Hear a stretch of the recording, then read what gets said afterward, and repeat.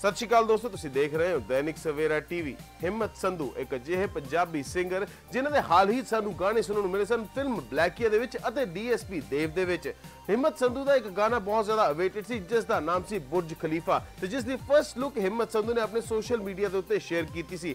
ਤੇ ਹੁਣ ਹਿੰਮਤ ਸੰਧੂ ਨੇ ਆਪਣੇ ਇਸ ਗਾਣੇ ਨੂੰ ਲੈ ਕੇ ਇੱਕ ਨਵੀਂ ਅਪਡੇਟ ਸ਼ੇਅਰ ਕਰ ਦਿੱਤੀ ਹੈ। ਜੀ ਹਾਂ, ਹਿੰਮਤ ਸੰਧੂ ਨੇ ਰਿਵੀਲ ਕਰ ਦਿੱਤੀ ਹੈ ਆਪਣੇ ਗਾਣੇ ਬੁਰਜ ਖਲੀਫਾ ਦੀ ਰਿਲੀਜ਼ਿੰਗ ਡੇਟ ਹਿੰਮਤ ਸੰਧੂ ਨੇ ਆਪਣੇ ਇਸ ਗਾਣੇ ਬੁਰਜ ਖਲੀਫਾ ਦੀ ਰਿਲੀਜ਼ ਡੇਟ ਆਪਣੇ ਇਸ ਗਾਣੇ ਦੇ ਪੋਸਟਰ ਨੂੰ ਸ਼ੇਅਰ ਕਰਕੇ ਦੱਸੀ ਹੈ।